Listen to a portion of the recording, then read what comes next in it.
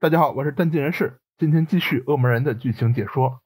经过多次的失败，泽农也有了一些急躁，派出了新的恶魔马美姆，读音马美姆，这个就是音译啊，叫他和魔将军赞尼一起干掉恶魔人。虽然马美姆觉得自己就可以胜利，但也只能听从魔王的命令。马美姆可以化身为水，水下是他有利的战场。并不想和赞尼一起行动的马美姆，立刻就给赞尼了一个下马威。利用能力将赞尼困在了自己的领地附近。恶魔人和美术一家来到海边附近游玩，而马美姆也早在这里埋伏多时。可以控水的马美姆利用海浪将恶魔人和美术一家冲散。恶魔人和美术醒来后，发现自己是在一个巨大的贝壳体内，两人身体的一部分已经开始珍珠化，贝壳内部会有水滴滴下。亲眼看到一条鱼很快就变成了珍珠。不想在美术面前变身的恶魔人，光凭人类的身体无法打开贝壳。美术突然被附近的一个怪物抓住，并且晕了过去。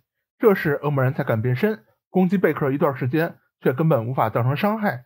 最后终于发现了弱点，用翅膀划破贝壳，终于被打开。恶魔人带着美术冲出了海底，放在安全的地方，然后去找马梅姆。马梅姆在利用发大水来破坏城市。这时恶魔人也终于赶到，并询问。被掳走的另外三人在哪里？马梅姆将恶魔人打下水中，在水下双方开始战斗。水中的马梅姆果然战力大增，不过恶魔人假装晕倒。马梅姆在不知道的情况下，将恶魔人带到了关押美术父母的地方。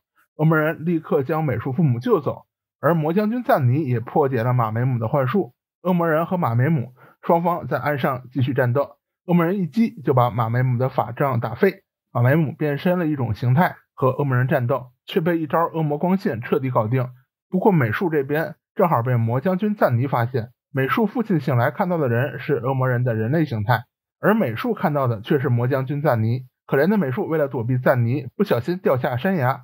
不过赞尼为什么不看生死，直接撤退，也是个谜团。恶魔人回到当初放置的地点，发现找不到美术，终于在山崖下方找到了他。美术醒来，得知父母和弟弟平安无事，再次晕了过去。受伤的美术被送入急救车中，恶魔人十分愤怒。如果原来的恶魔他是被动反击，那么现在他已经决心毁灭恶魔泽农。美术进入了手术室，美术的父亲和恶魔人坐在椅子上。恶魔人回想起了和美术的第一次见面，第一次遇袭击，包括西雷姆、罗克菲鲁、伊亚蒙各种恶魔，到最后魔将军赞尼。恶魔人认为是自己的原因，只要自己离开美术，美术就不会再被恶魔袭击。美术的手术非常成功，恶魔人也表示十分开心。彻底放心的恶魔人开摩托来到空旷的地方，变身恶魔人飞往恶魔族的领地。不过这一切都被恶魔族的间谍冰村岩看到。回到冰川的恶魔人却发现没有一个恶魔。这时冰村岩突然出现，说魔王和恶魔族已经去了人类的世界。果然，这个人也是恶魔变化的恶魔希拉姆，读音 Himla，是一个样子有一点像蝙蝠的恶魔族。没过几招，希拉姆就被打倒在地。这时，隐藏在一侧的魔将军赞尼登场。希拉姆拥有将附近铺满黑雾的能力。赞尼利用恶魔人的视线盲点进攻，占了不少优势。恶魔人开始使用恶魔之眼，并冲上去一个手刀，但是没有什么效果。随后利用赞尼的自满，使用恶魔之剑和赞尼的身体反射功能，干掉了使用黑雾的希拉姆。双方进入了公平的对战。赞尼和恶魔人对战几个回合后，被打飞到悬崖边上，叫嚣着魔王泽农和恶魔们现在正在毁灭人类，美术也绝对没有好下场，后就掉入深渊。本来已经离开的恶魔人，为了保住美术，只能回到木村家。大家在购物回来的路上，看到了奇怪的女子幻象，最后双手不受控制，用拳头砸向方向盘，引发了巨大的交通事故。这一切都是恶魔的错。读音 A 八音，我们叫非拜音好了，是一个能够操作对方双手的女性恶魔。触发机关是在镜子中看到她。随后在各地，尤其是恶魔人的附近，发生了多起这样的事件。比如电视台的主持人无法控制双手自杀，摩托车的驾驶员自己撞上了停靠的吊车，学校的老师用双手揍校长，然后自己打自己。剑作和同学也看到了，最后双人互掐。恶魔人赶到时，剑作又开始攻击恶魔人，恶魔人用皮带将镜子打碎。飞拜因如果没有镜子的话，能力是无效的。剑作和同学恢复了正常，飞拜因随后逃到校长的镜子中离开。飞拜因来到了妖将军木赞的面前。木赞和上一次死掉的赞尼同是魔王泽农手下的干部。菲拜因说自己拿恶魔人没有办法。木赞赐予了他一把特殊钥匙，钥匙可以把一个房间形成特殊的结界，可以把恶魔人拉入镜子的世界战斗。菲拜因成功使用了钥匙，并把恶魔人从现实中隔离。当恶魔人探入被毁坏的镜子时，就掉入了镜中的世界，看到了巨大的菲拜因。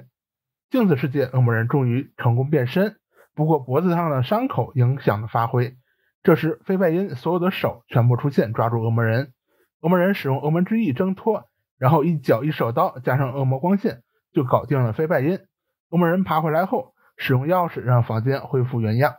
几日后，整个城镇中出现了非常难得的流星雨，小镇的大部分人都在观赏，而这其中出现了貌似只有年轻人才看到的红色流星。所有看到红色流星的年轻人眼中都闪现着红色的光晕。从无线电中，恶魔人听到了恶魔族的信息，突然听到了美术的惊叫，赶到之后却听美术说只是做噩梦而已。美术一旦入睡，会梦到粉红头发的人头，这个人头就是恶魔。读音 Psycho Juni，我们音译 Psycho 九尼好了。不过学校中不止美术一人，也有其他学生精神恍惚。恶魔人的整个班级都没有什么精神。并且全部声称看到了红色流星。随着课堂的进行，恶魔人的同学整个班级都进入了睡眠。尽管老师十分抓狂的制造声音，也没有什么效果。睡梦中的学生，包括美术，都看到了赛克九尼，威胁大家不要和别人说出自己的事情，并让大家感受到在睡梦中被焚烧的感觉。下学后，恶魔人知道了噩梦的事情，通过一点小计策，成功套到了自己想要的情报。今晚十一点，所有人都必须去某个地点集合。不过，说出情报的女同学也体验到了浑身被烧的感觉，但这只是精神暗示。最后，同学被救护车接走。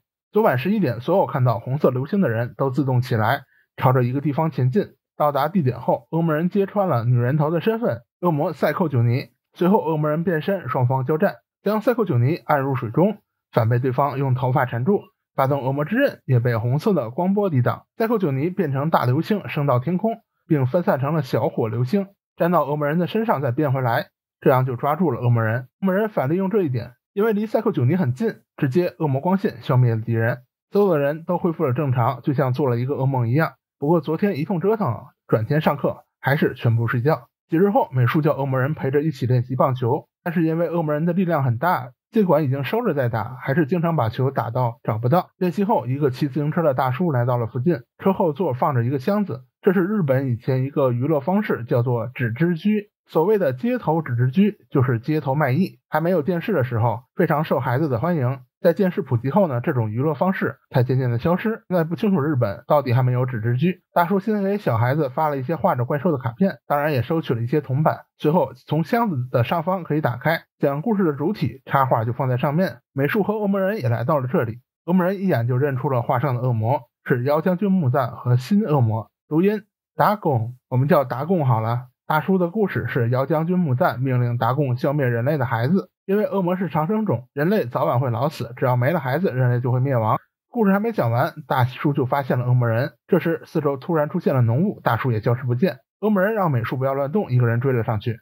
恶魔达贡就藏在了一幅画中，他告诉恶魔人是无法阻止他的，之后就消失不见了。孩子们的四周武器也消失不见。夜晚，恶魔人在家中思考如何对付达贡。讲故事的地点又有一位社畜经过，湖边突然出现了一个怪物，吓得社畜赶紧回家。社畜回到家中，想要努力考上东大的儿子正在努力学习。突然，从抽屉中出现了妖兽，一度让他认为自己学习过多，出现了幻觉。社畜正在日常被妻子训斥不上进的时候，听到了孩子的惊呼。来到房间后，看到的是被破坏的房间和受到惊吓的孩子。此时，附近各地都有妖怪出现，虽然没有出现伤亡，但是孩子们都被吓得够呛。剑作的女同学也出现了恶魔，打电话过来求助。恶魔人带着剑作乘坐摩托向同学家中赶去。在门口正好碰到了破门而出的恶魔，不方便变身的恶魔人只能让恶魔逃跑，并追了过去。在浓雾中，恶魔人找到了达贡。原来孩子们遇到的怪兽都是白天时获得的恶魔卡片化身。恶魔人变身，一脚就打断了达贡的牙齿，恶魔幻象全部消失。达贡使用喷雾隐身，而恶魔人使用恶魔之眼破解后。将他带到空中，使用恶魔之刃被对手缩壳防住，最后两个回合就被恶魔光线消灭，事情再一次解决。咱们这期就到这里啊，这期我们做的是十三到十七集的剧情解说啊，这次感觉做有点多啊。好，我们下期再见了，感谢大家收看，哎，拜拜。